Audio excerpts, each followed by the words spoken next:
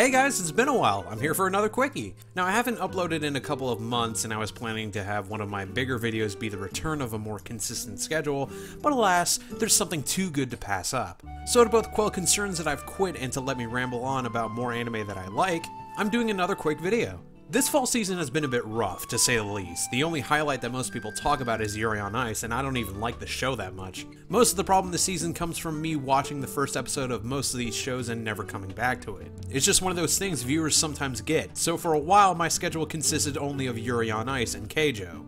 Look, I got bored, I liked it, things happen. It's not just because there's boobs in it, I, I like it for action. But during the season, I remember watching a PV for an anime that seemed like the token feelsy slice of life anime for the fall. This was March Comes In Like a Lion, or Sangatsu no Lion, if you're a dork. Dorks! I figured the anime was going to be nothing more than the usual dark premise with stuff that makes you feel warm inside, and the protagonist becomes every other protagonist and there's shogi in it somewhere. But after managing to marathon to get up to speed, I can say that March Comes In Like a Lion is not only a pleasant addition to the slice of life formula, but probably one of the most successful at nailing its atmosphere. To bring everyone up to speed, I'll have to do a quick and carefully worded synopsis. See, some of the story and development is slowly revealed over the course of the anime, so saying the now technically counts as a spoiler. Plus, personally, I think it's best to know as little as possible when going into this. Rei Kiriyama is a high school student who managed to become a professional shogi player in his middle school years. While his contemporaries and seniors shower him with praise, something doesn't quite feel right to him about his life. He lives on his own for reasons that are slowly revealed,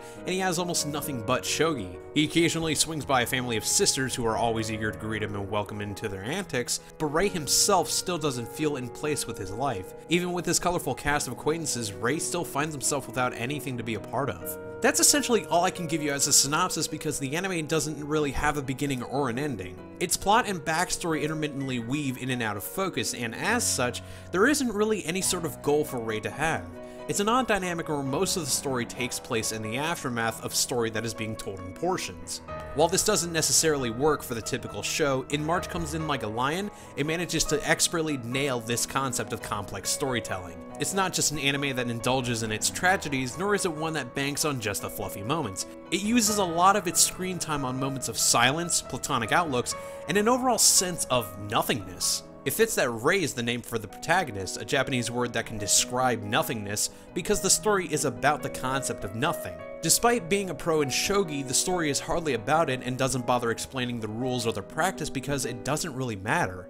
This isn't a story of self-esteem and trying to find something in someone's life. This is a story of a desperate kid trying to find anything in his life, anything that helps him not to be who he is or who he fears he might be. That doesn't stop that downer of a plot direction from the anime having cute moments, however. There are plenty of times where sound effects are accompanied with bubbly text and moments of genuine comedy from Rei's acquaintances to fit in between the soul searching. You get a lot of good laughs from this anime, surprisingly, along with the cutest little girl in an anime ever. I'm calling it now. I'm claiming domain. The cutest girl in all anime is Momo. Video and video, top 5 cutest anime girls, go! Number 1, Momo. Numbers 2 through 5, also Momo. Honorable mentions consist of Momo and Momo. There are no contenders! With this kind of setup though, an overly comedic section will become a hard contrast to the anime's darker moments and create some sort of feeling of misdirection. However, March does a very good job of not bringing too much of a focus on either aspect, so it keeps the idea of nothingness as a central theme, with moments of reprieve and moments of sadness complementing it. It magically juggles the concept of how our joys come from the fact that we were once sad, and vice versa. It mimics what life is like, something that isn't permeated by just happiness or just sadness, it's a mixture. But then it adds in the usually forgotten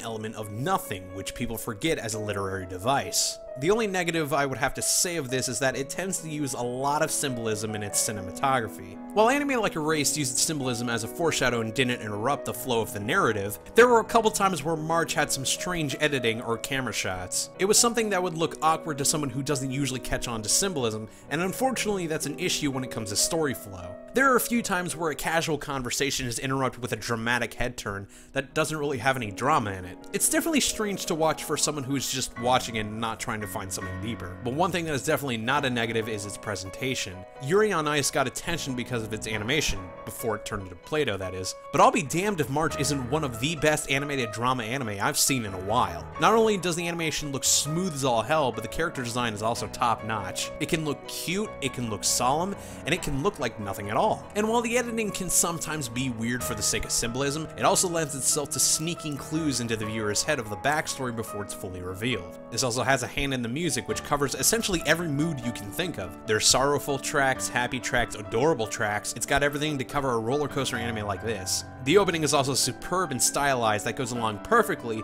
with the song by Bump of Chicken. March comes in like a lion is a definite black sheep. I never expected it to be such a deep form of storytelling, one that sports a large range of moods and styles. It manages to perfectly juggle emotional flow on both sides of the spectrum, something that I thought was previously impossible. The anime is still yet to be completed, but I expect some good things from it. So as for now, I'll have to hold off on completely analyzing it until its conclusion, whatever that may be. Thanks for watching and I'll see you all next time.